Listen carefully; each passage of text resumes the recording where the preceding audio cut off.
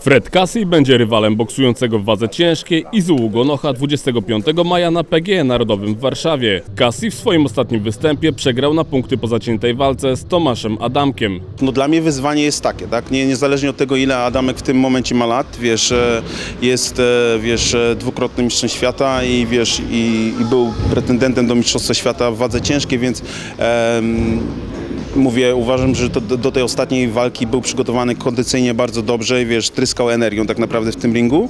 Em, więc e, no, dla mnie wyzwaniem e, nie byłoby tylko wygrać z Kasim, ale po prostu zrobić to w lepszym stylu niż Adamek. Tak? Jestem od niego młodszy, e, dynamiczniejszy i, i, i uważam, że, że potrafię mocniej uderzyć, w związku z czym e, w związku z czym po prostu chciałbym wygrać z Kasim w dobrym stylu. Izuak Bełgonoch powróci na ring po poniesionej w lutym ubiegłego roku porażce z Dominikiem Bryzilem. Podczas majowej gali na PGE Narodowym wystąpią także m.in. Artur Szpilka, Mariusz Wach, Ewa Piątkowska, Robert Talarek, Rafał Jackiewicz i Marcin Najman, który zmierzy się z Arturem Binkowskim. Bilety na Narodową Galę Boksu dostępne są na eventim.pl i kupbilet.pl. Ty, mów o sobie, ja ciebie zniszczę.